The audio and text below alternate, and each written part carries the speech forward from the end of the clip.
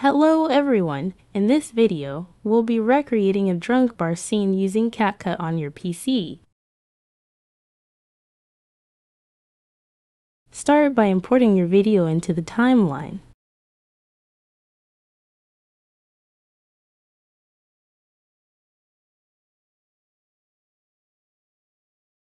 Navigate to the Effects section, click Video Effects,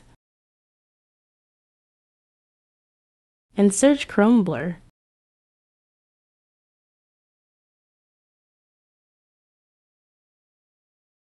Then add the Chrome Blur effect to the timeline.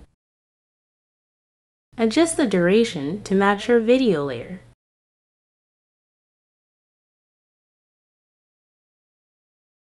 On the right side, tweak the settings to change the blur intensity.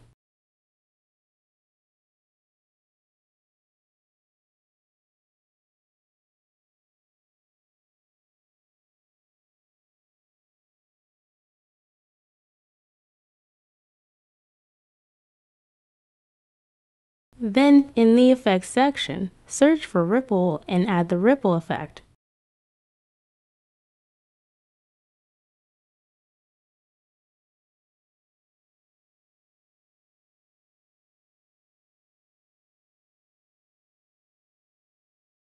Again, adjust the duration to align with your video layer.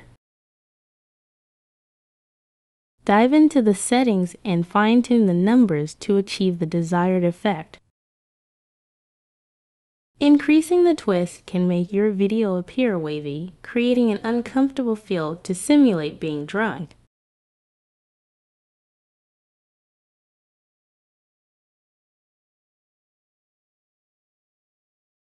The key settings to adjust are for blur, twist speed, and strength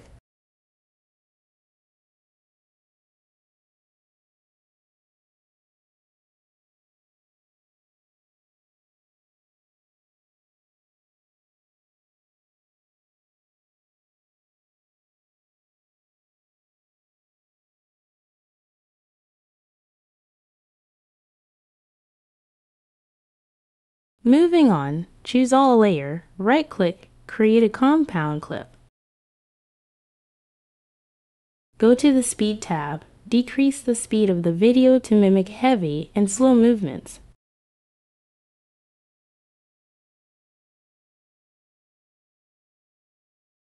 Click Smooth Slow-Mo, choose Optical Flow.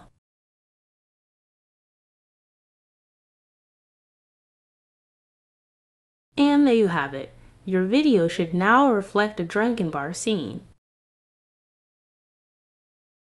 And there you have it. I hope this tutorial was helpful for you. Thanks for watching.